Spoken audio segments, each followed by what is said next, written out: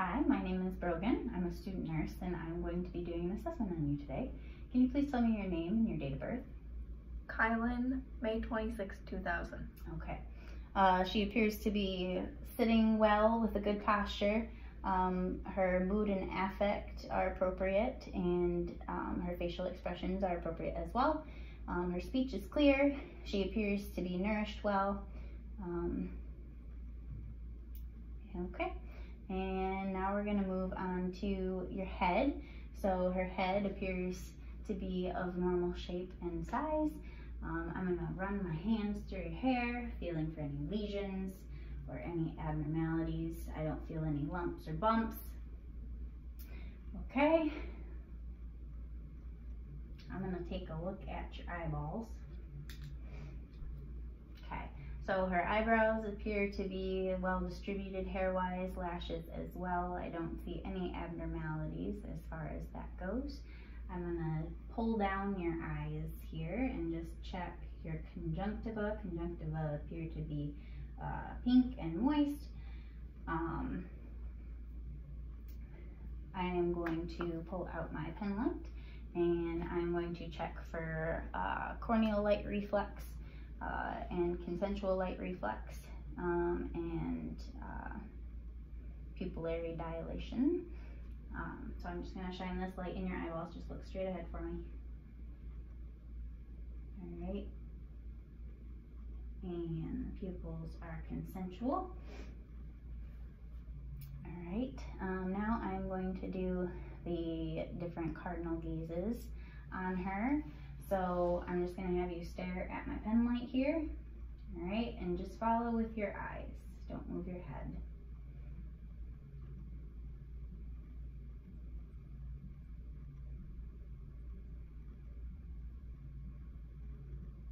Good, okay. So everything is all right with her eyes. Um, now I'm going to check her ears um, and just do a, an inspection of them. They appear to be intact, uh, not overly pierced or anything of that sort. Uh, I'm going to feel the auricles and the tragus. Any tenderness when I'm doing that? No. Okay. All right, and I'm going to also feel your sinuses as well. Any tenderness when I do that? No. Okay. Okay, next I'm going to check her nose. Um, it appears to be centered in the middle of her face. Um, and I'm going to plug one nair at a time, and I want you to just take breaths when I do that. Any difficulty breathing with either of those? Nope. Okay. Nares are patent bilaterally. All right, now I'm gonna check inside of your mouth. Um, can you open your mouth wide for me? Okay, can you say ah? Ah. Okay, can you stick out your tongue for me? And can you clench your teeth for me? Perfect. All right, now I am going to um, check the lymph nodes um, all throughout her head and her neck. Um, so I'm going to check the preauriculars, the postauriculars, the occipitals, and then I'm going to come down and I'm going to check the um, anterior uh, cervical chain and the posterior cervical chain, and then come back up. I'm going to check the tonsillar, I'm going to check the submandibulars and the submentals, and I'm also going to check the supraclaviculars. Any pain or tenderness with that? No. Okay, and I don't feel any sort of inflammation um, there at all. Um, next, I'm going to move on to her neck. Um, her trachea appears to be midline um, with carotid pulses present on both sides, about plus one, plus two, I'm to say plus two bilaterally. All right, now I'm going to do some strength things with your neck. So I want you to look straight ahead for me. Can you push on, on my uh, head, turning your head that way? All right, and do it the other way as well. Perfect, okay. And then can you move your head forward for me and backwards and side to side, and then can you turn as well? Okay. Everything appears to be intact with that. Um, let's move downwards. So I'm gonna move into her shoulders.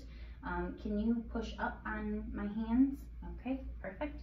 Um, we're gonna move down into her arms. And I would check her skin, uh, had she been wearing a short sleeve shirt. Um, check for any lesions, any bruising, um, anything of that sort.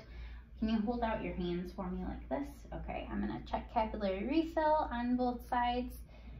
Less than two seconds, great. And then I'm going to check your radial pulses on both sides.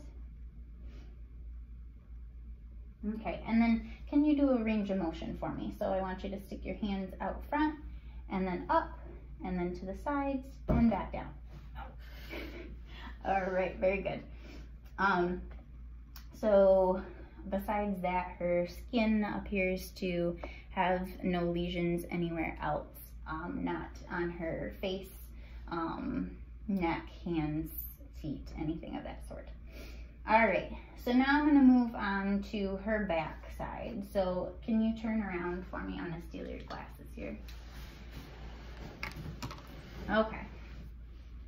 So I'm going to take a peek at her back. Everything looks good on there.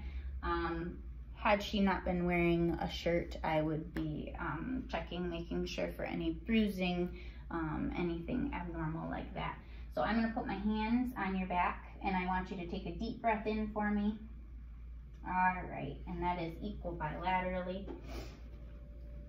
So next thing I'm gonna do is tactile fremitus. So I'm going to have you say 99 every single time I place my hand on your back. So here we go.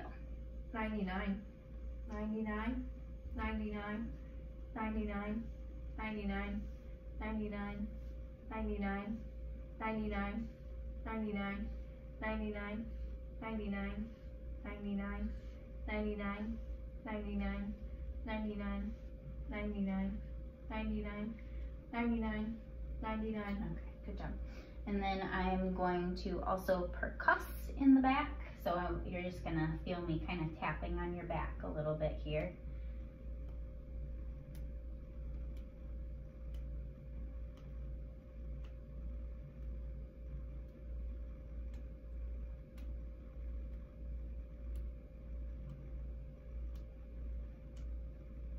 Good. I'm gonna take a listen to your lungs.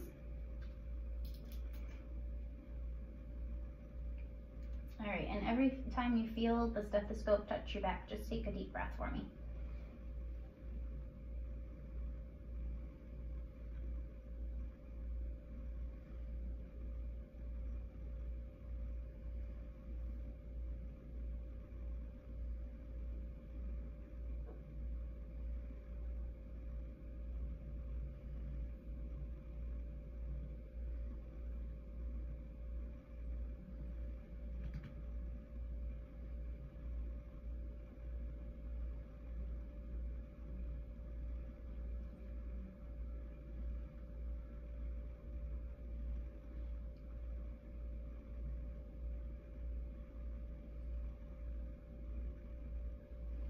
Okay, lungs are clear bilaterally. All right, now can I have you turn back around for me and I'm gonna do the front side. Okay, and again, inspecting, making sure that I don't know any sort of physical deformities um, with her. All right, I'm gonna do the same thing in the front and just take a listen to ya. Nice deep breaths for me.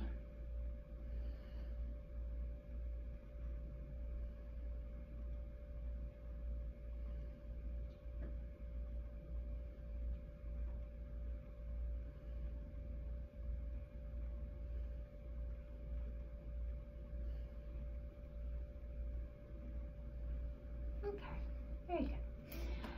So now we're gonna move to the precordium area. So first I'm gonna feel for her apical pulse, fifth intercostal space here.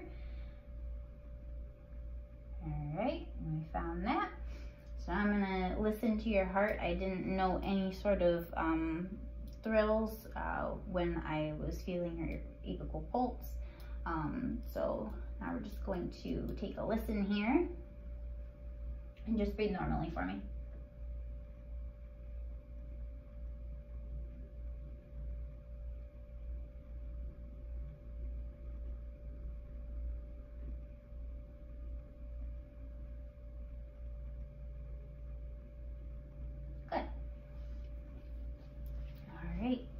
Abnormalities are noted with that. All right, let's move on. I'm going to have you lay down for me on the bed. okay, so next we are going to check your abdomen. So had you not been wearing a shirt or um, anything of that sort, I would check and make sure that there was no sort of bruising, any sort of abnormalities, no scars, lesions, anything like that. Um, her abdomen does appear to be um, flat, no distension um, with that. Um, so first I'm going to ask you, are you having any pain in your abdomen at all? No. Okay.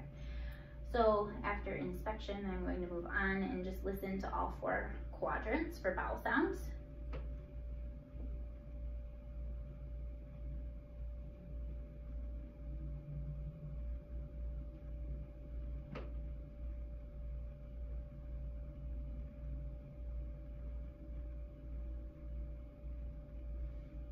Okay. So my next thing is going to be percussion. So that same tapping that I did on your back, I'm going to do on your stomach as well in all four quadrants. Any pain or tenderness with that? No. Okay.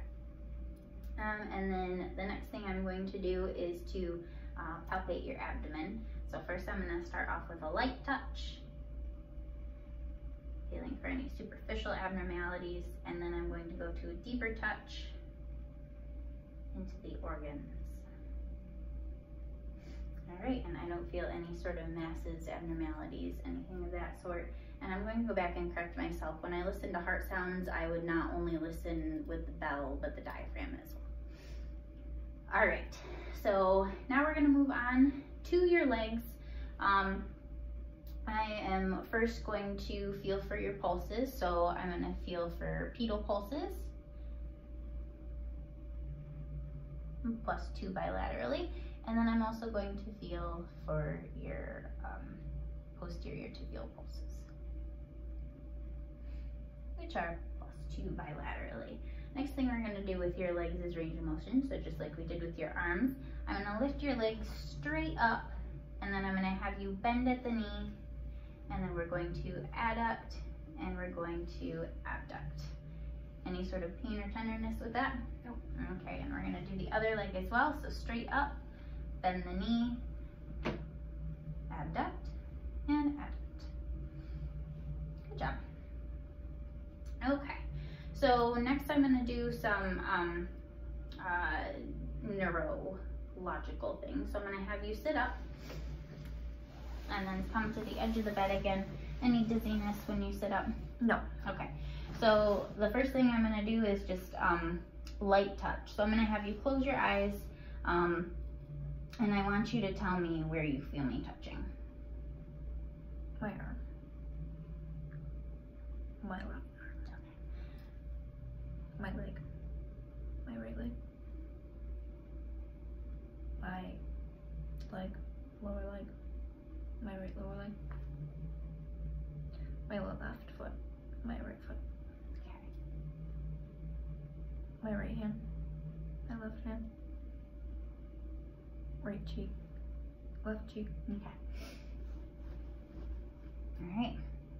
So the next thing I'm gonna have you do, I'm gonna have you do supination and pronation. So I'm just gonna have you put your hands out and go like this and do it nice and fast for me, kind of like this. There you go. Okay, so she's good there. And then I'm also gonna have you, I don't know if we can see here, I'm gonna have you um, run your foot up and down your shin. Okay, and then do the other one. All right. So no abnormalities noted there. Um, the next thing I'm going to check uh, is our reflexes. So I'm gonna have you, what I would do is have a reflex hammer. I do not have one of those. So I would um, check reflexes, um, our brachial reflexes. So I would tap right there and you should see a jerk in the hand. Do the other side as well. And then I would check our patellar reflexes and you would see a jerk in the um, bottom of the leg. And then I would go down and do the Achilles as well. And then that would um, show a jerk with the bottom of the foot, um, usually dropping down. Um, Okay, so then our next thing here we are going to do um, is to do um, the uh, reflex on the bottom of the foot, the plantar reflex. Um, so normally we're just going to have a little bit of tickling and like a tickling reaction um, from our patients. What we don't want to see is the Babinski reflex, which we see in babies. Um, so I would take my reflex hammer and go bottom of the foot into a J. And we got a little bit of a tickle there. All right. So now I'm going to have you stand up for me. And I am going to have you walk from where you are, just walk across there. Her gait appears to be normal. The next thing I'm gonna have you do is come back and do um, heel to toe and just walk back. All right, and she has got a good balance. Next thing I'm gonna have her do is a Romberg test. So I'm gonna have you stand with your feet together and I want you to close your eyes and lift up one foot. Okay. All right, and then I'm going to do a range of motion with her spine. Whoops, you can't see me. Range of motion with her spine.